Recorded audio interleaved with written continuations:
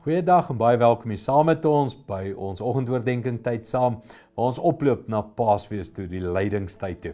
Nou ons skrifvers vandag is so 'n nuwe uitdagingkie 1 Korintiërs 6 vers 19. Of verstaan julle nie dat julle liggame 'n tempel van die Heilige Gees is wat in julle woon en deur God aan julle gegee is nie. Die klem vandag, die woord vir vandag is jou liggaam.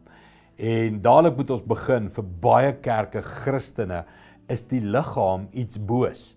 Die liggaam is die produk waardeur sonde kom, is die vlees, die drange, die begeertes. Dis deur my liggaam wat ek sonde doen en goed. Reg teologies moet jy 'n skeiding maak tussen liggaam en vlees. Ek weet ons praat in Afrikaans, hierdie is my vlees. Eintlik is hierdie jou liggaam. Jou vlees volgens die Grieke was sars, 'n sarks is die so so Griekse woord sarks. Is dis 'n woord wat iets praat van um jou jou jou drange in jou liggaam. Die die begeertes van jou liggaam. So die woordjie vlees is nie fisies nie. Die Bybelse woordjie vlees is die sondige gedeelte en jy moet dit skei. Kom ek sê vir jou, want jou liggaam is wonderlik.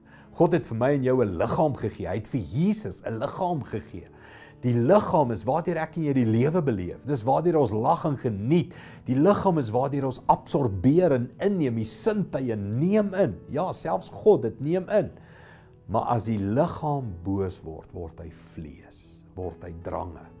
En een manier hoe ek en jy kan een word met die leiding van Christus is om te sê ek wil met my liggaam 'n instrument wees in die hand van die Here.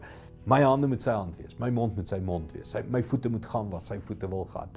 My drukkies, my liefde, my aanraking, my gedagtes, my smile, alles moet 'n instrument wees in die hand van die Here. Dan is liggaam iets wonderliks.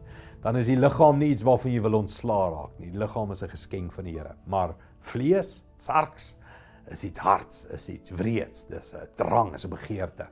En dis waarvoor ek hier moet pas op. Maar kom ons sê dankie vir ons liggame. Kom ons sê Here, hoe kan ek met my liggaam U dien? Kom ons bid dit saam. Hemelse Vader, dankie vir my liggaam, my gesonde liggaam wat ek vandag mee hier sit. Dankie vir my hande, my mond, my ore, my sintuie waarmee ek hierdie pragtige lewe wêreld, natuur van U kan inneem.